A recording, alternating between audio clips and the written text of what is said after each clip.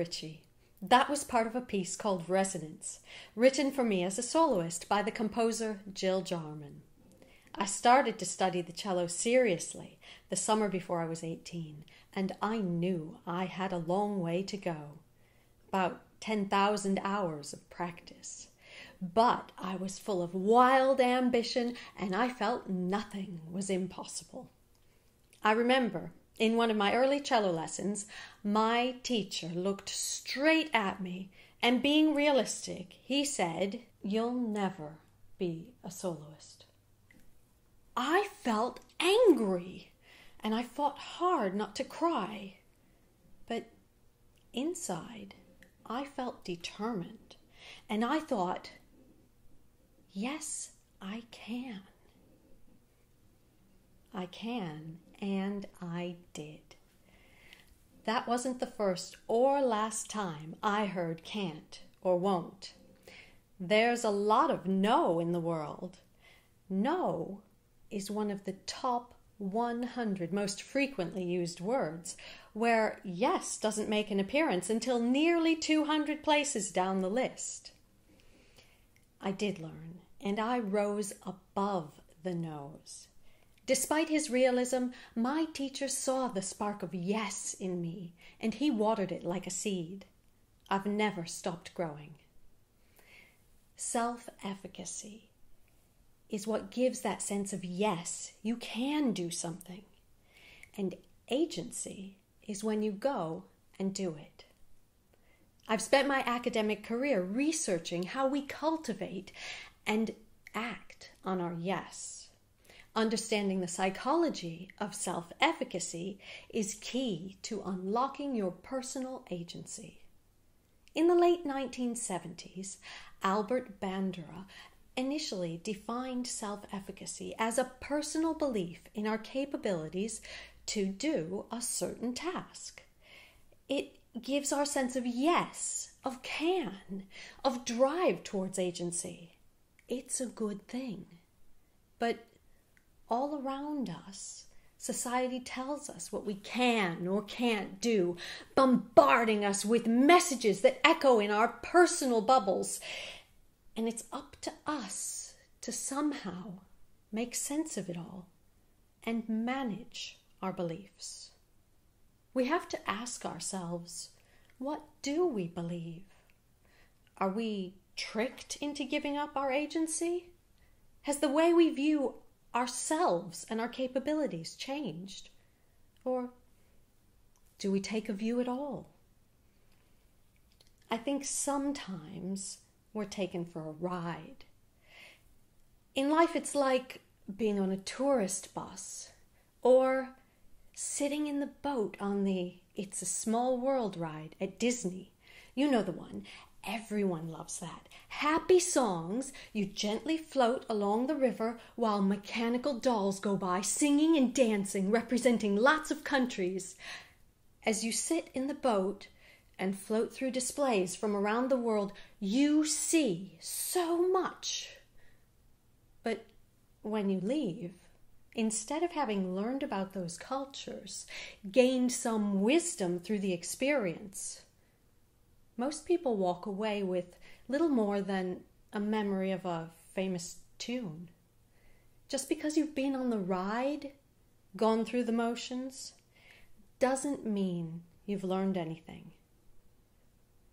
It happens in education.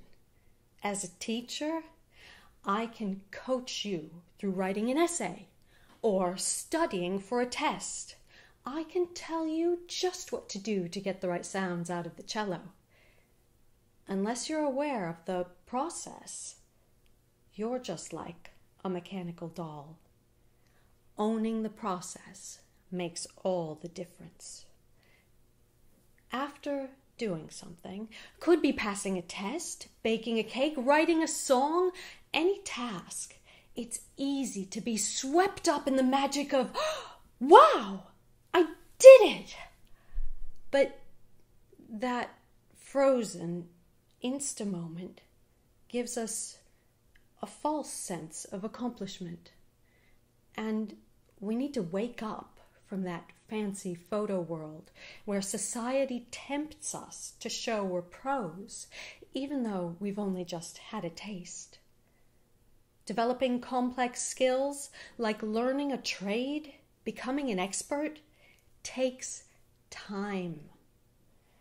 It would be like saying once you've made a cake out of a packet mix that somehow you're a chef. Whatever your goal, whether playing the cello, cooking, designing a house, making an app, becoming a civic leader, these take years to master.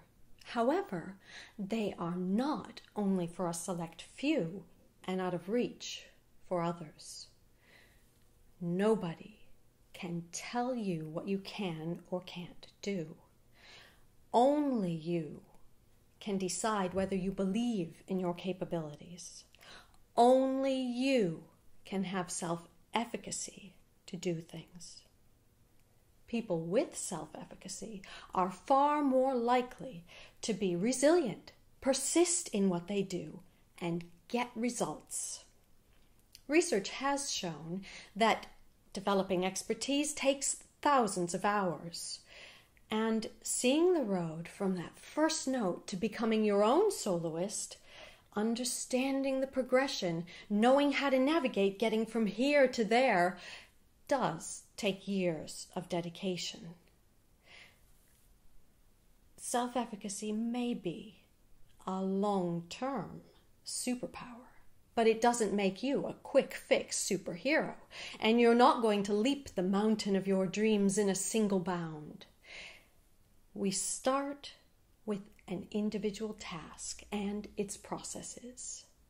There are notes to learn, fingers to toughen up with calluses, muscles to train, a whole palette of skills to develop, no matter what you're doing when we consciously think about thinking and learning processes, that's called metacognition. Understanding what's required, knowing you have the skills, realizing how you feel and do, being aware and owning your self efficacy suddenly makes things seem possible. This is the key to unlocking agency. But modern life has been constructed for ease, and people don't need to learn things. We've made huge advances to automate and simplify, creating space and time where years ago we would have had to work to figure out things. And now there are gadgets to do things for us. Heck, I can turn on the hot water with an app. Actually, with most things in my house, I neither need to lift a finger nor know how anything works to be perfectly comfortable. The very nature of automatic means it's done for us. When things are done for us, where's our agency? It's not enough to simply have self efficacy beliefs. It's really important to know what we're believing in, what a task involves to have accurate self efficacy beliefs. I studied 600 school children in England who were beginning to learn musical instruments, and I asked one boy who was cheerful and confident what he was learning. And he said, The elbow. He really didn't understand, but he made sense of the situation by using the word that sounded closest to his actual instrument the oboe. What are the component parts, the skills, the processes? How do we get from A to B? There's a big difference between an oboe and an elbow. self efficacy has to be something people own in their daily lives.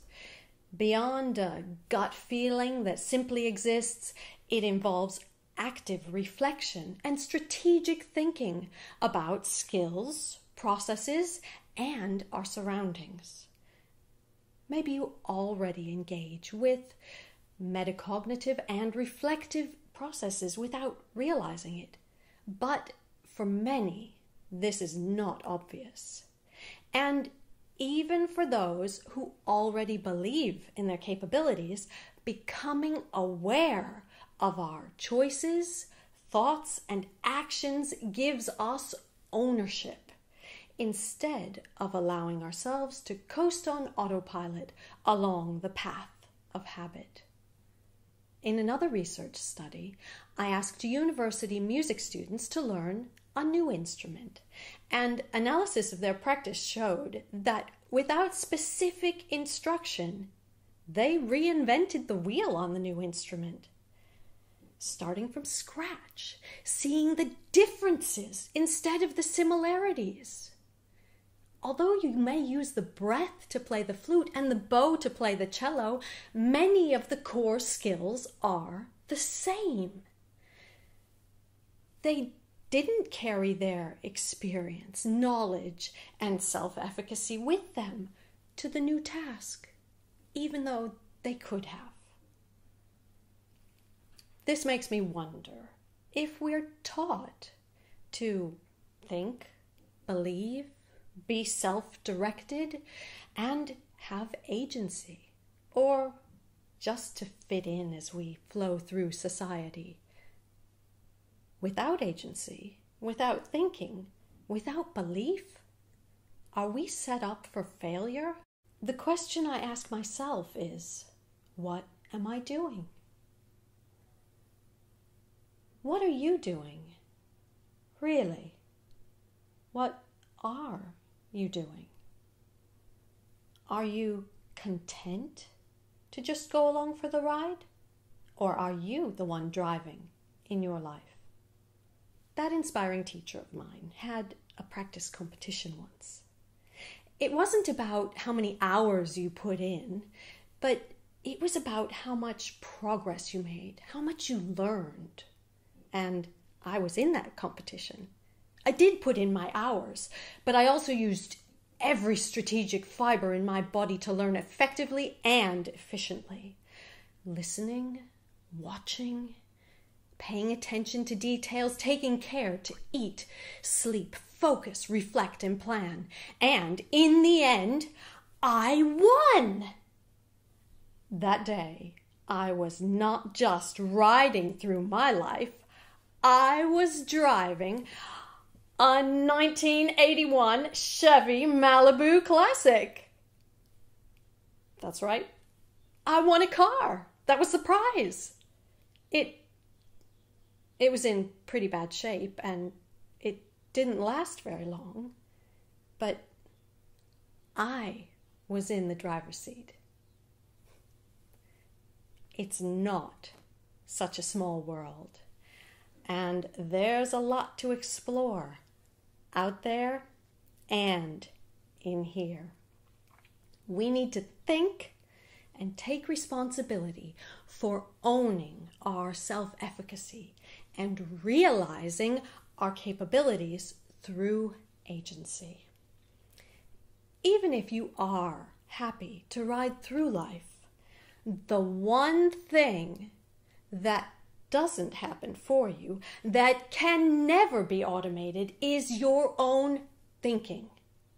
Someone can trick you into not thinking for yourself, but nobody can take away your capacity to think and believe in yourself.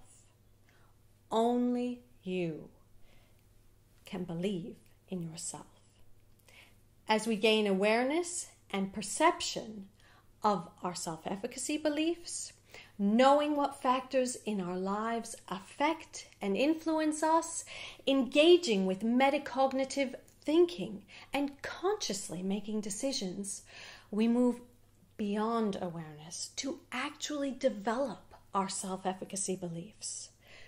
Awareness allows us to transfer from one setting to the next by linking processes, beliefs, and skills. The foundation of skill and the confidence of yes leads us to act. Action is our agency.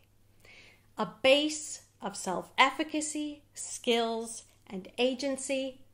It's a recipe for change and the road to more confident accomplishments. With self efficacy, you may well find a way to be a soloist. Maybe not textbook like Carnegie Hall or singing the halftime show at the Super Bowl, but believe me, yes, you can. And with each accomplishment, your self efficacy is strengthened. This goes beyond thinking you can learn or grow. It's different from a mindset that persists through grit or force. People who are aware of their self efficacy use these beliefs as an active source of motivation toward untapped possibilities. We engage with ourselves, our surroundings, and we move from belief to action, from self efficacy to agency. We think and use strategy to take charge of our beliefs. When you own your self efficacy, believe in your yes and know you can, then you have the keys to agency. It's your turn to be in the driver's seat. It's your turn to go solo.